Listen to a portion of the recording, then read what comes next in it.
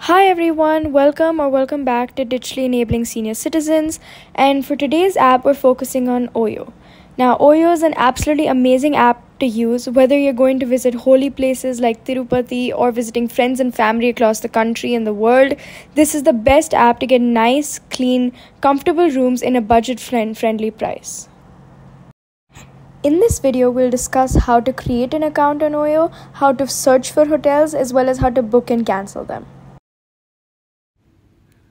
Once you open the app, it'll either ask you to log in or sign into an account. You can either do this using your mobile number or through Google account, even through Truecaller, but using a mobile number is the easiest option. Here, type in your mobile number. Once you've done that, click continue. This will give you a one time OTP message that will come to your phone. Do not share this number with anyone and type it exactly as it was given. Now it'll ask you to fill in some further credentials such as your full name, email. Some of these options are optional, but it, fill it in if you would like to. Once you've filled in these options, you can select create account and it'll lead you to the home page.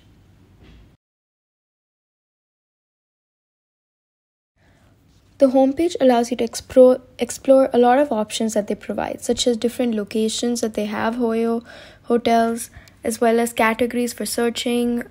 You can continue previous searches as well as view different offers that they have. Here we're going to search for hotel options in Tirupati.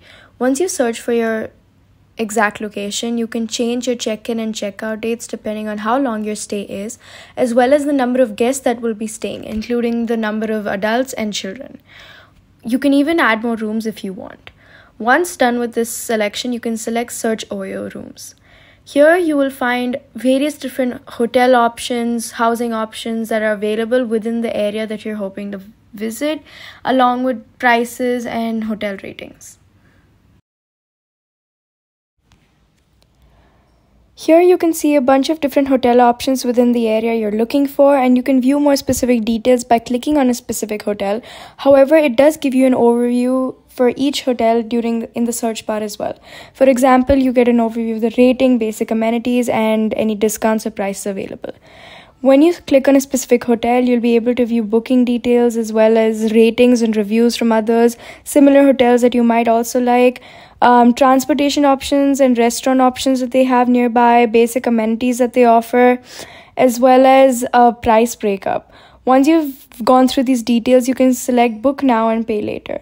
Now, this feature has a few advantages. Firstly, you can pay through cash, which makes it a lot easier for senior citizens. Secondly, with this pay at hotel option, you can cancel even last minute, and if your plans change, there will be less heavy cancellation fees that other platforms require. Here you can now see more details of your booking, such as the directions to the hotel. You can call them if you require any help, as well as an overview on the details of your uh, booking. You can also scroll down to the end of this section in case you would like to cancel your booking. You can select a specific reason for your cancellation. That's it for today's video. I hope you all enjoyed. Please like, share, and subscribe, and I will see you all in the next one.